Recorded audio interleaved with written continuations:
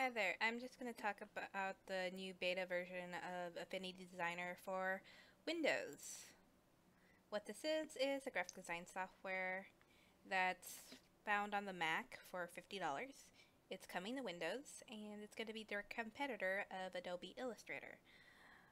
This is a new document, little dialog box, and what's cool is that you can retrieve your margins from your printer, so if you're doing something inside your house, you'll actually be, be able to design with the printer in mind and you don't have to worry about your uh, little image being cut off, which is great if you're doing planner stuff or just a little cute little thing for your scrapbook. Cool. Here is the robust shape tool. Now you have your regular square, your circle, your rounded box, but you also have triangle, diamond, trapezoid, polygon, double star, just a whole bunch of shapes. And the cool thing about these shapes is that you can actually alter them using dialog boxes right over here.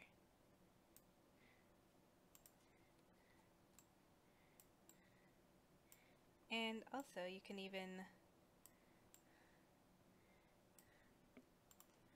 uh, alter them even more by cutting out some stuff. For example, using highlighting these shapes, there's a little cutout tool right there.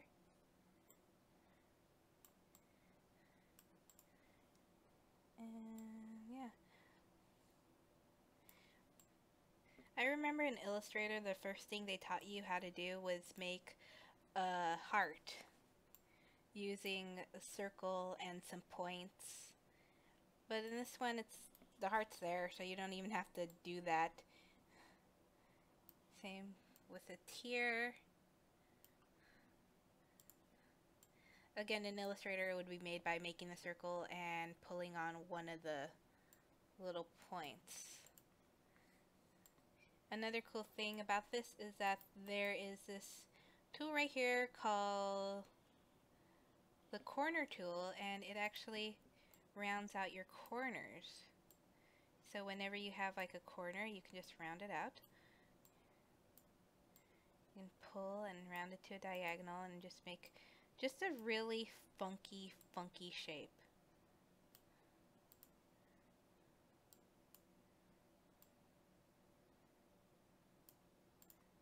See?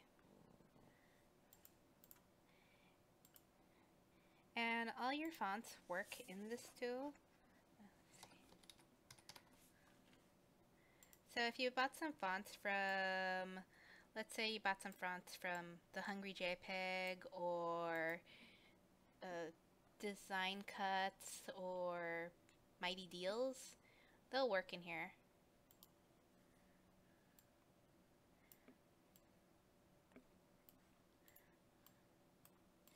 And when you hit Control Y, you'll see exactly what the shapes look like.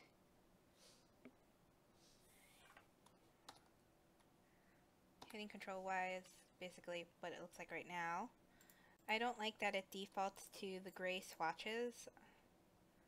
Let's see here. To highlight one to change a color. And it defaults to grays.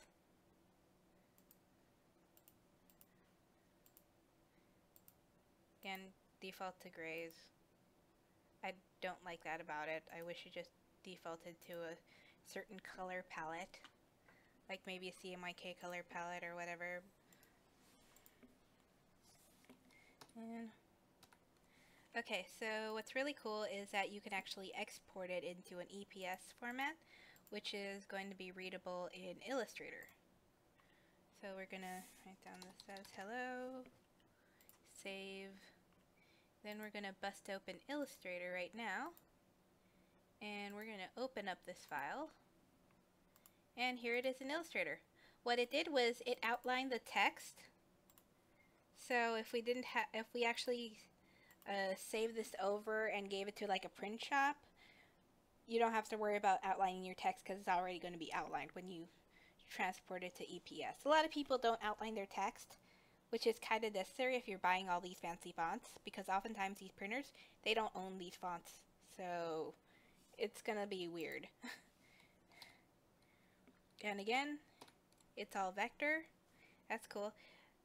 What happens is that there are these effects and styles that when you apply them, for example, let's apply this metal and we're going to make this look like onyx. And for this one, we're going to have just regular vector and we're going to copy it over, but we're going to give it an effect. We're going to give it an outer shadow.